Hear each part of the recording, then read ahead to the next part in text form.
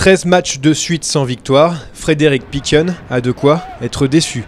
Depuis sa dernière victoire à Evian lors de la 12e journée, Créteil-Lusitanos n'a plus remporté le moindre match de championnat, tombant de la 5e à la 18e place au classement. Le nouvel entraîneur des attaquants cristoliens s'attend à une lutte jusqu'à la dernière journée et croit en la survie du club en Ligue 2. L'objectif c'était le maintien depuis la première journée, mais là encore plus avec les résultats. Donc on va essayer de, faire monter un petit peu l'équipe et surtout euh, ben, qu'on finisse 17ème, c'est tout. Hein. On a beaucoup d'arguments, euh, surtout offensifs, qui sont, qui sont performants et il faut continuer là-dessus.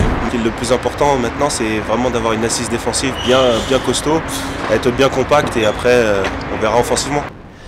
L'un des atouts majeurs du club se nomme Florent Mollet. Le leader technique de Créteil, Lusitanos, a marqué les deux buts de son équipe lors du nul face à Valenciennes le week-end dernier.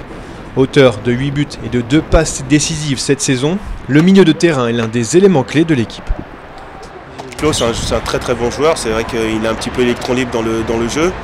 Donc euh, il faut lui faire confiance, il a la confiance de tout le monde, il a la confiance du coach, donc ça, se voit sur le terrain, il marque des buts.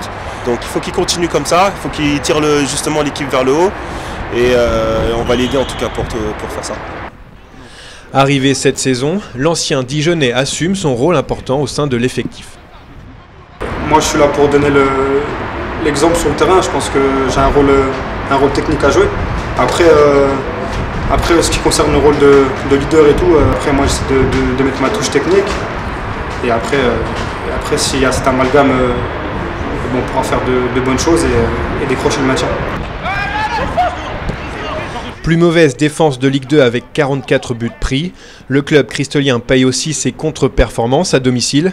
Les franciliens n'ont remporté que deux matchs dans leur enceinte à Duvauchel. À un point du premier relégable, Nîmes, Créteil a encore 13 journées pour sortir de la zone rouge, avec l'espoir d'enchaîner une quatrième saison de suite en Ligue 2.